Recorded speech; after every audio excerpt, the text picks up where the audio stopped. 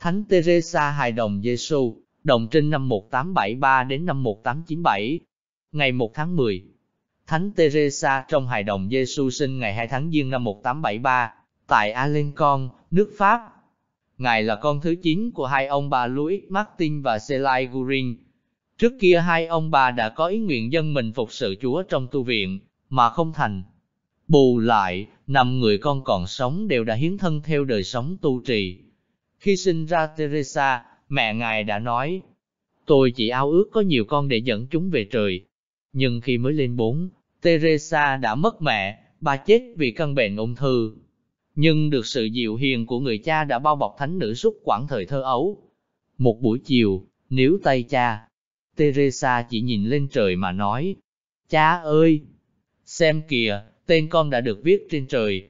Dù còn nhỏ từ tuổi lên ba, Ngài nhớ rằng mình đã không từ chối Chúa điều gì. Ngài đã cố sửa tính cứng dầu, ích kỷ và hay thay đổi. Lúc lên 10, Ngài ngã bệnh nặng. Nhưng Ngài đã thấy tượng đức trinh nữ mỉm cười với mình và cơn bệnh biến mất. Teresa luôn nghĩ tới những sự trên trời. Ngài nói rằng, Chúa Giêsu đã chết trên thánh giá để cứu rỗi các linh hồn, nhưng thật đáng buồn khi có rất nhiều người không đáp lại lời mời gọi của Chúa. Bởi thế, thánh nữ đã cầu nguyện và thống hối để đưa các linh hồn về trời. Có một kẻ cướp tên là Prangini bị kết án tử hình. Thánh nữ đã tự ý cầu nguyện cho hắn được ơn hối cải. Ngài còn xin một dấu chỉ chứng tỏ hắn hối cải. Và rồi, tên cướp đã từng từ chối sự giúp đỡ của linh mục. Lúc lên đoạn đầu đài, bỗng quay nhìn thánh giá và hôn ba lần. Từ nhỏ đã quyết nên thánh, Teresa muốn được sớm tận hiến cho Chúa. 15 tuổi, Ngài đã ước ao được gia nhập dòng kính. Không được phép, Ngài hành hương đi Roma để xin phép Đức Giáo Hoàng. Đức Leo 13 đã chỉ trả lời. Nếu Chúa muốn, Đức Giám mục Bayer đã cho phép Ngài vào dòng ngay. Nơi đây đã có ba người chị của Ngài. Nhận được tên Teresa của Chúa Giêsu hài đồng, Ngài thêm và của Thánh Nhan. Ngài khấn dòng, Ngài cầu nguyện. Ôi Chúa Giêsu, con xin ơn bình an và tình yêu vô bờ bến. Xin cho con được tử đạo trong lòng hay nơi thân xác, hay tốt hơn, được tử đạo cả hai. Chính nhờ đường con thơ tin tưởng và phó thác, mà thánh nữ đạt đến tuyệt đỉnh thánh thiện, và hoàn tất ơn gọi sống tình yêu và đau khổ. Ngài đã quyết không bỏ qua một hy sinh nhỏ bé nào.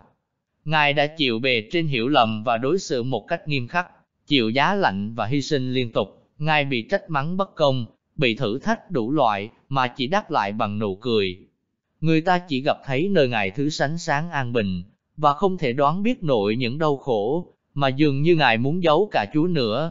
Con cố gắng mỉm cười khi phải đau khổ, để Chúa nhân lành như bị lừa bởi dáng vẻ bề ngoài, cũng không biết rằng, con phải đau khổ nữa.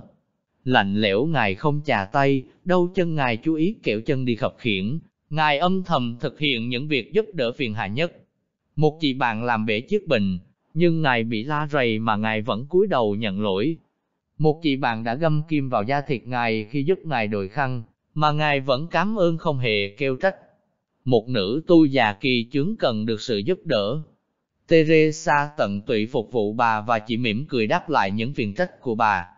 Người ta hỏi Ngài, chị nói thế nào là ở như một trẻ thơ trước mặt Chúa?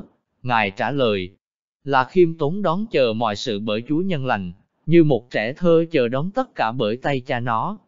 Mọi sự khác chẳng quan hệ gì. Thật viễn vông khi muốn vài chục người chung quanh quý trụng. Tôi chỉ mong được yêu thương ở trên trời, bởi vì chỉ ở trên đó mới hoàn hảo mà thôi. Ngài không đòi được soi sáng nữa, khiêm tốn và phó thác. Ngài tin rằng, tôi không mơ ước được thấy Chúa và các thánh của Ngài, như nhiều người khác ao ước được nhìn thấy và thấu hiểu mọi sự, mà chỉ muốn ở lại trong cuộc sống đức tin. Giáo thuyết rất đơn sơ, nhưng sâu sắc của Ngài được nuôi dưỡng không ngừng bằng những suy ngẫm, và được trình bày trong cuốn Một Tâm Hồn. Chị Ngài, mẹ ANE thời đó, đã truyền cho Ngài viết lại những ý ước này. Sợ rằng việc này làm phân tâm, nhưng vì vâng lời Ngài đã thực hiện.